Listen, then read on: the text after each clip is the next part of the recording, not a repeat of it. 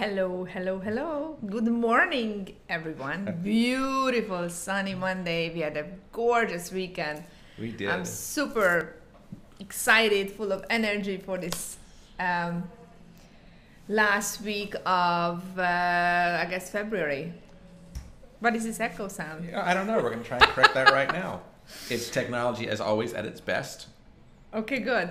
So now, go ahead. What's the topic of the day? Well, before we get in the topic, let's just talk about us. When we prepare for these videos, right? It's not just we don't come in and just wing it and, and Yes. spit these out. Pretty A much all of- weekend long, I mastermind what I'm going to talk on Monday. We're, we spend a lot of energy trying to figure out Yeah. what is a is a good topic and what's an interesting topic, and um, we we make a real effort to make make sure we're engaging and that the content is valuable, right? Absolutely, it has to be something that Right. everybody can take away something from. So today's content sometimes will feel like it's a repeat in some Yes. respects, but it's not because it, it all represents the best ingredients.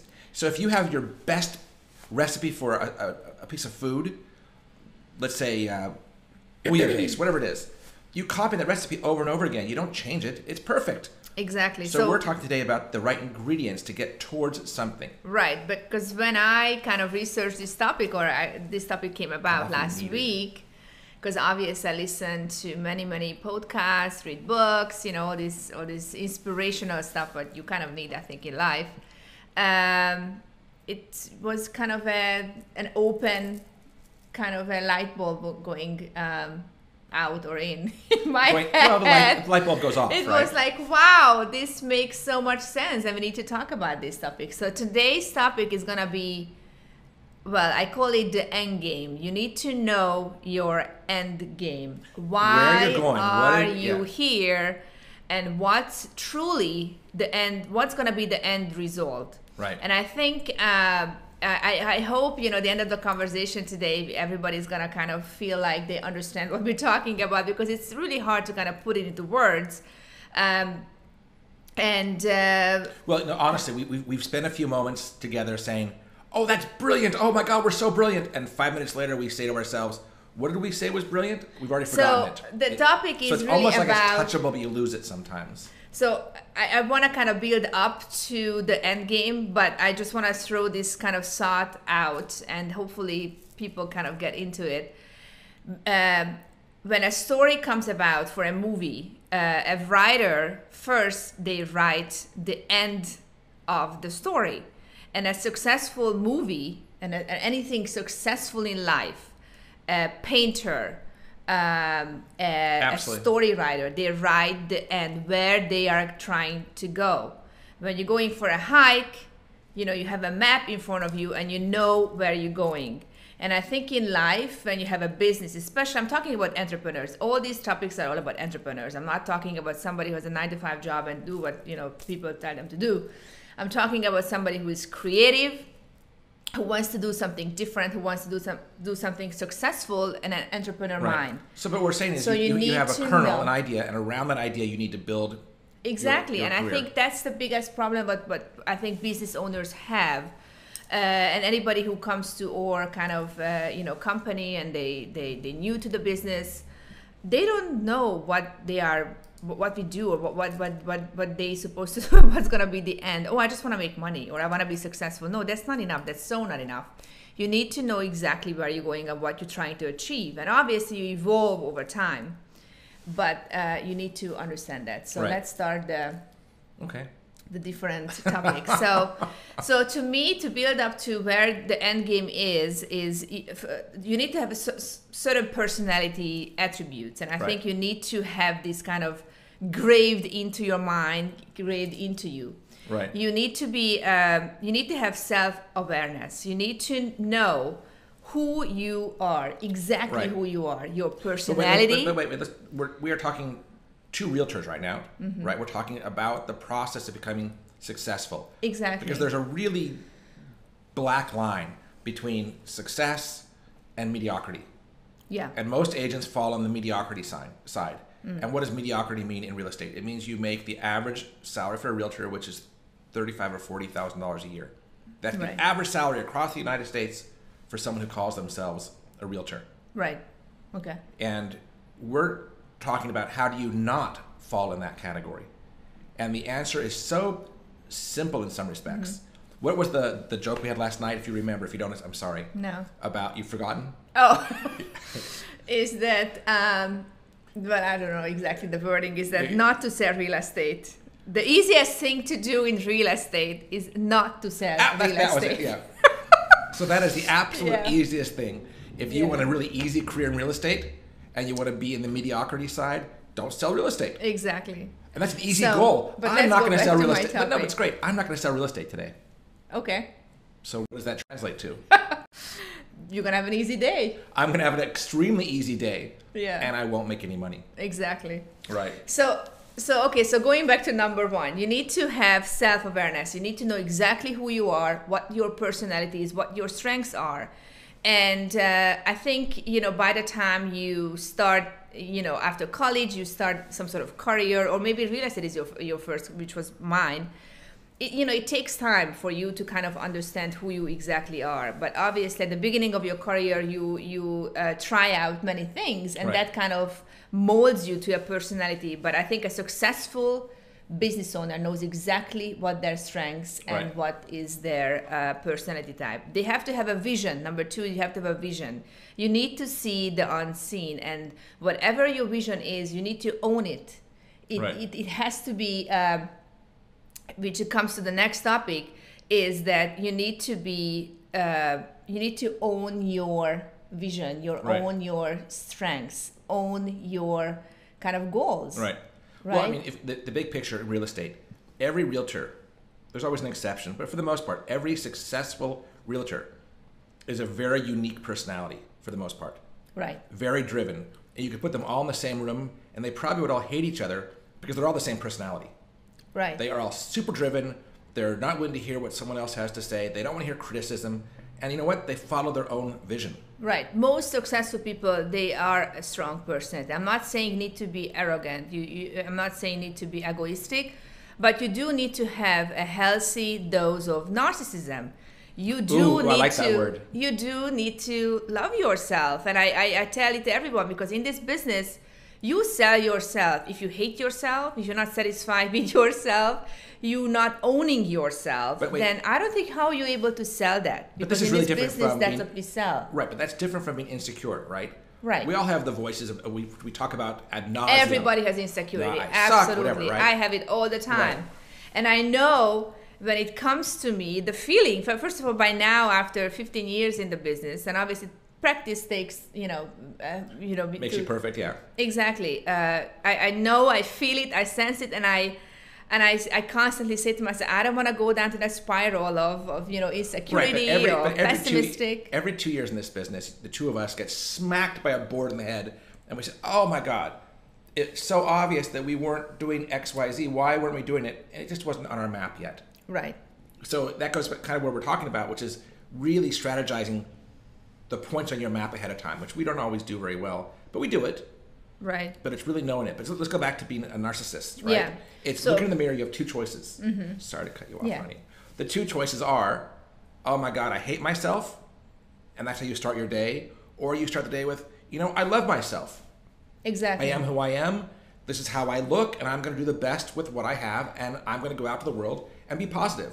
Exactly. Which is going to draw people to you. Exactly, because if you are obviously pessimistic, pessimistic is being safe actually, and being to putting on roadblocks. And I think optimistic people, overall, they open the, the their kind of way of life, and they. Um, well, obviously, need to be flexible and go with the flow. But I think if you're optimistic, you do uh, uh, have no boundaries. And I think pessimistic people have so many roadblocks and so many fences they put around themselves that they're playing kind of the safe game and they wonder that nothing happens because if you're in the same same safe zone, Right. I don't think anything could happen to you, right? Well, yeah. So you need to take risks. You need to. it's to all be, um, about risk. If you, and but that leads to our kind of our map today. If you're asking your friends, "Hey, do you like this ad I'm creating? Hey, do you like this uh, my pictures on Instagram? Hey, do you like the way I market my real estate?" And they Right. give you a negative answer, Oh yeah. and then you change it because some, one person said no, or your mom said, "I don't get what you're doing." Mm-hmm. You need a that's back to narcissism. You need a strong enough internal voice that says, I don't really care what they say. I'm doing it my way. Exactly. So what comes to me is Gary Vee. I'm, I'm, I'm sure most of you know who Gary Vee is. If you don't, then man, you need to kind of do your homework and research. He is probably the most um, talked about personality right now in social media, motivation and, and business strategy. You know what he's like? He's like drinking apple cider vinegar for your health. It tastes horrible, but it's so good for you.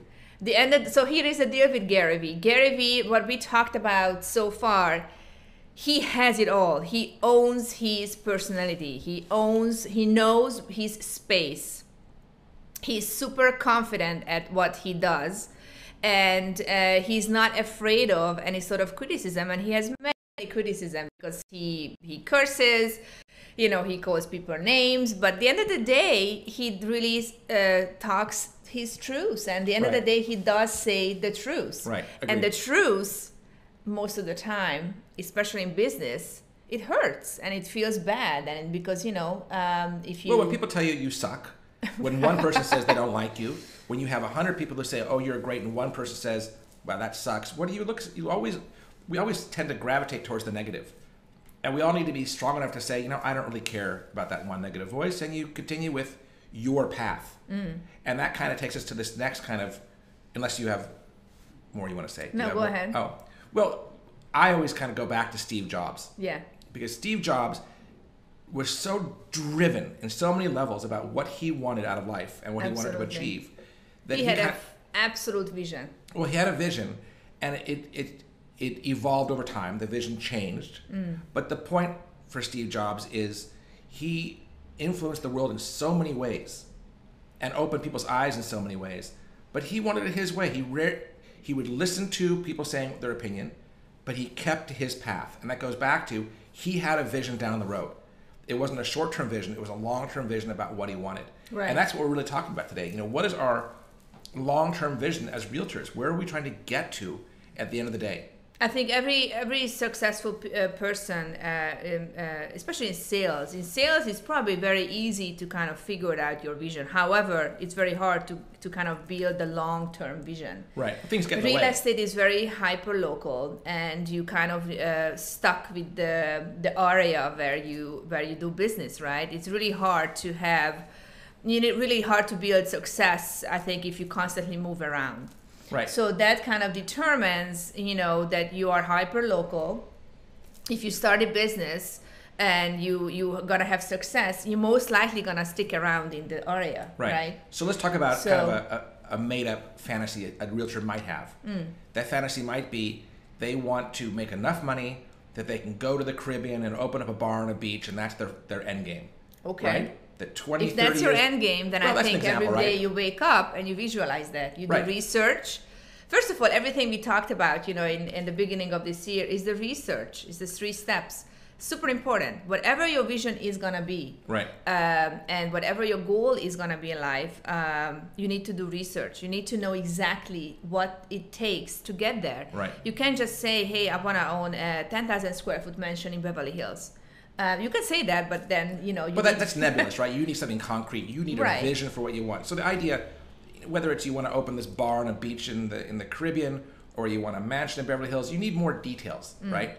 And the other idea is this path you're taking to get to your final destination. Mm. There might be roadblocks, avalanches. not might be for sure. For sure, exactly right. You will be stopped along the way. Immigration is going to stop you. It's going to be the police. It's going to be an avalanche. It's going to be a catastrophe. It's going so to be a fire. So this comes back to super essential points, which is um, discipline and resilience. Okay. It's super So give important of part both. of, yeah. Resilience is that you cannot be afraid of failure. Failure doesn't mean that you stop what you're doing. That's the failure. Failure means that you something what you started is not working, but then the uh, the solution for that is that you learn from it and uh, you evolve. You evolve to um, maybe a little bit different uh, uh, direction, but you not stop because if you stop, that's the absolute failure. Well, look, look, here's, here's an example in real estate. If for the last 20 years of your career, Mm. you were following, for example, objection handling from um, one of the training org- organizations, the Right. Mm. objection scripts, you know what? People are pretty savvy now about real estate.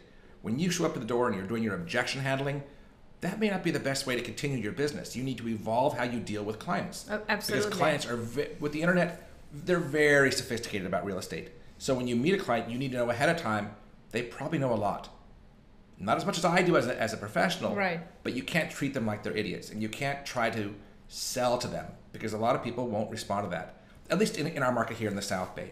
There are other markets where it might still work, but not here, for sure. Right. But you need to own it. You need to practice it. So that comes back to discipline and Right. practice. Every Olympic winner, as we know, Right. practices hours and hours a day. You need to practice your own profession. You need to be trainable. If you're not trainable, forget it that you already failed because in life you need to be uh, you need to train yourself. You constantly need to educate yourself. You need to uh, motivate yourself. You need to read books. You need to listen to different podcasts. You need to listen to motivational stuff. You need to you need to learn, you know, the legal stuff. You need to constantly learn, and uh, you need to have the discipline to to do this. Because I think if you don't have that, um, you're gonna fail. And I, yeah, go ahead. Well, so that you said a few things that are great. Well, you always say great things. honey. Yeah, thank But you. what I was I was going to reinforce is everyone we know, at, on, not that we know personally, that we just know, Mm-hmm. who are super successful. They all read books. They will tell you if you ask them key to your success. I read voraciously. I'm always reading a book.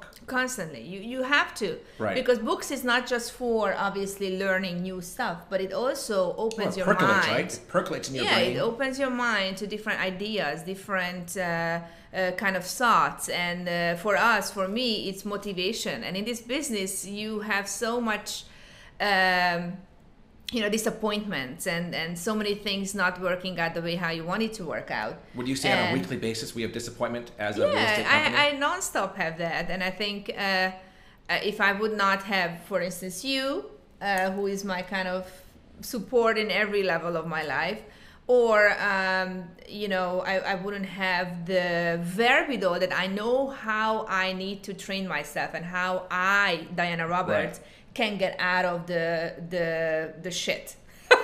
Well, you know, when I when I walk in when I walk into the office and I see the steam coming out of your ears, Right, I have two choices. the choice is to engage you, which I never should do, but I always do, or leave and go somewhere else. But I always Yes. engage you, and then it's always not good, and it's always because someone's treated us horribly Yes. in a way that we can't imagine another human would treat another human. But our answer is always the same. It's always fuck the fucking fuckers, right? it's like you move on. It's like oh well, okay, that person yeah, didn't treat you, me how I like. you really have to, and I They're- think they are a minor roadblock that's blocking your course to where you're trying to Yes. go. But I'm so focused on my end goal. And obviously, I have goals for the year. I have goals for five years. I have goals for 10 years. And I have goals how I'm going to retire. And now that I'm kind of approaching my midlife, uh, Midlife. zone. Uh, So Diana hates saying the F Ah. word. What is the F word, Diana? What? What is the F word? She says Oh, midlife. 40, yeah. Yeah. So Diana hit 40 and oh my god, midlife No, but crisis. it is definitely, uh, you know, changes your thought Right. process, and you look back at okay, 20 years is gone, well, 40 years is gone, but 20 was kind of, you know, trying it out, and then now 20 years of some sort of experience, and now you have another 20, 25, 30 years of, of hopefully active life, and then, you know, uh, you need to think about how you're Right. going to kind of end it. Without going into So- detail, you had a goal for something for the business Right. That you were determined to make happen. I was determined, and, And it- I'm it was- determined in many. it was driving me crazy. I know. But she made it happen. So But I know that I week, can something important squeeze it out, for the yeah. business, and she squeezed it out. And it's a milestone that was super important for the growth of peer-to-peer brokers. because I had a vision, growth. and I think vision.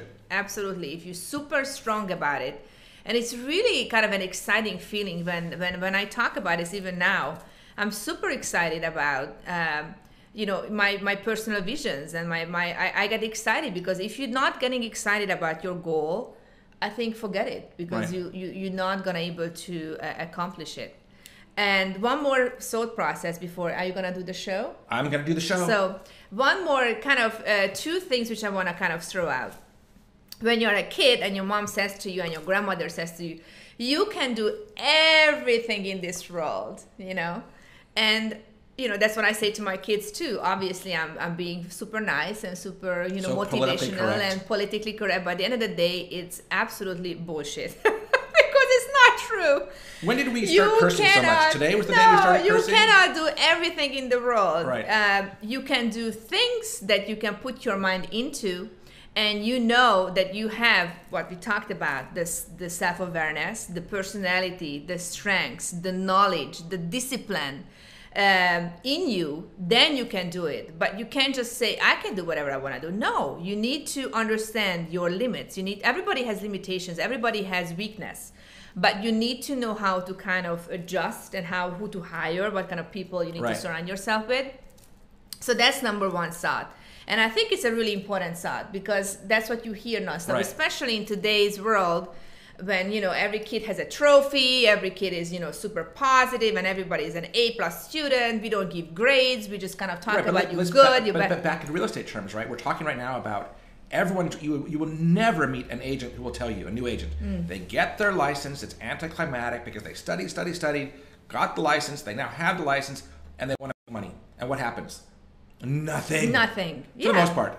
If you're lucky, you have a couple of quick I have, you know, right now a few new agents, and they need to have a written, absolutely focused path A how business to plan get for the there. year. But if, if you're not having it, you're just kind of there Right. and just kind of like floating in the world. Absolutely, you just kind of go with the flow, and you're not getting too much anywhere. Pretty right, much. right. Um, and the number, uh, the other two, the other thought is, um, you know, we say to anybody, or you know, again, politically correct, that you shouldn't uh, judge a book by its cover. You judge every book by its cover. absolutely not true. And you absolutely should judge a book by its cover. In, in fact, you know, you know what? You know, here's proof, and it's back to Apple. And I could get in trouble for saying this, but I don't think I will.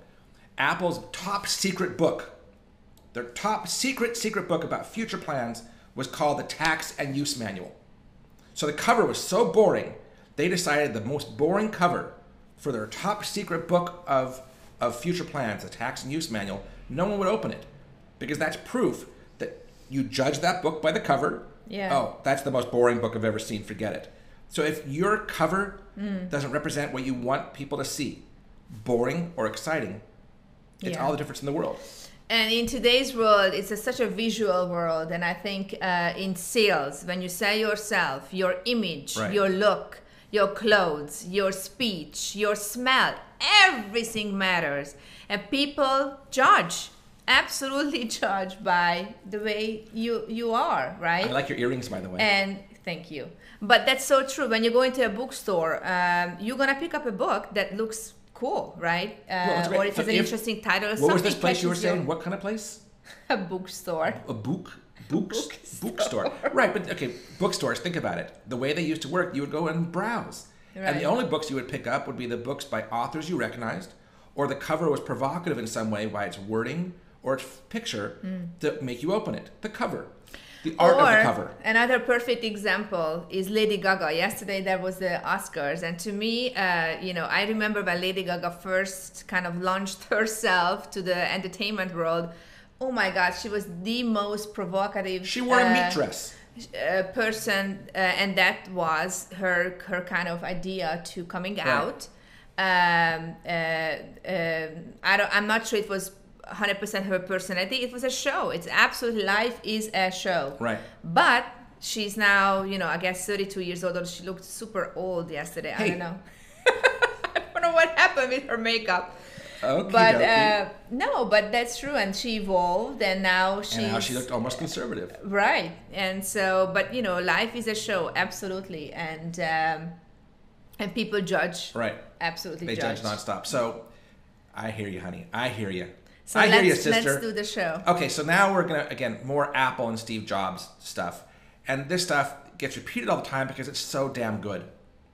So in 1984, uh, Apple was going to release their new Macintosh computer, and they hired an ad agency to come up with a way of announcing this to the world. And they got Ridley Scott, famous director, to create Super an ad, cool. and everyone's probably seen this ad called the 1984 Super Bowl ad.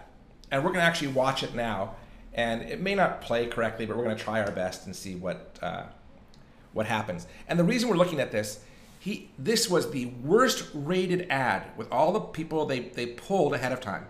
Everyone said they hated the ad. Steve Jobs was told, don't run it, it will ruin your career, it will close Apple down. He was told by everyone around him, don't do it. The ad agency did their own surveys to find out how people liked the ad. And they were so afraid of the results to tell Steve Jobs, they never told him. And they didn't tell him because they knew one thing. He didn't care what they said. Right. He liked the ad. And he had that, that innate sense that was, this is what makes sense to me. And he did it. So we're going to try and see if I'm able to play this now. And we'll see how it goes. Okay. For those who are watching this there, we apologize. We don't have a way yet to show it there. But it's less than a minute, so we'll be very quick with this and we'll be talking over it also. So here we go, maybe. And There you are.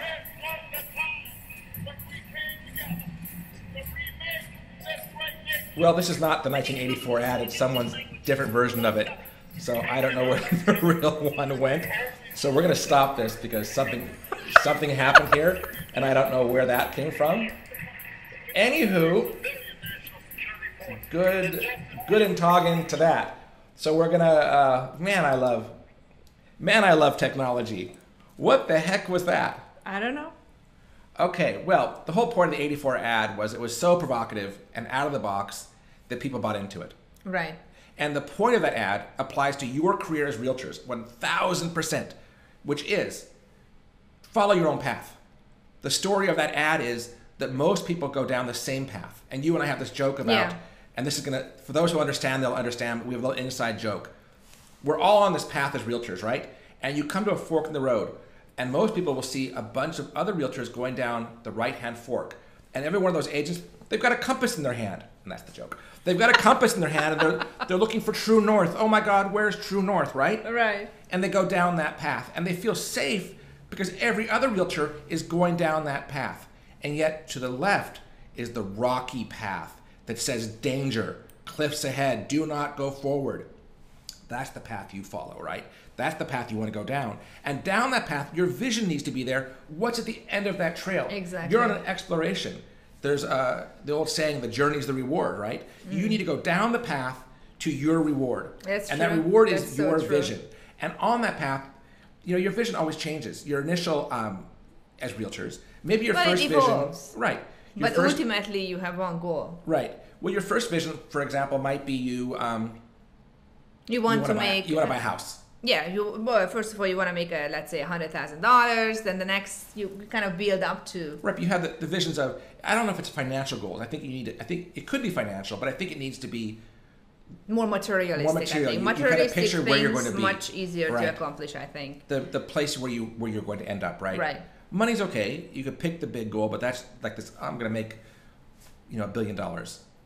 But I think it's in my mind, it's more creative and more fun to picture where you're trying to get to. Yeah, But you can visualize it much easier. Right, but the most important thing for for this process is there are spots along the trail where you stop temporarily, and then you realize you want to go further. So if you want to climb Everest, some people go to the base camp, and that's an amazing goal. And some people want to climb Everest and go to the top. Exactly. And that's also an amazing goal. And the same thing with real estate. If you picture your, your goals, and the first goal, as I said, could be I want to, you know, here in our market, I want to buy a house, I want to buy a condo in Redondo Beach. Maybe that's the first goal. And you achieve it. Oh, look what I bought. Right. The new goal is recalibrated. Now you say, you know what? That's a condo or a townhome. Now I want to have a single family home. That's the new goal. And you pick the destination. I want that new townhome to be, it could be Redondo, it could be Hermosa, it could be Palos Verdes. But you pick it and you visualize it, and that's the next goal. And as you achieve these goals, maybe you broaden what you're hoping for. I picture my new home in Palos Verdes Mm. on a bluff, and maybe it's even kind of wacky. You think, and this is, believe me, this is not my goal. I'm just making this up as I go here. And you picture, I want a fountain in front of the house. I want it to have gates, and I'm going to pull in in my brand new Bentley. Maybe that's the goal that you visualize. This is one of our clients' goal.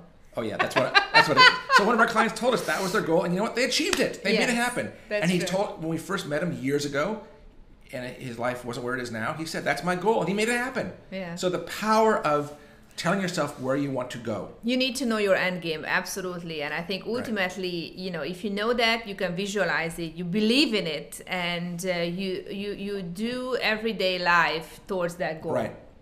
Much easier to live that way than just kind of go with the flow and hang out.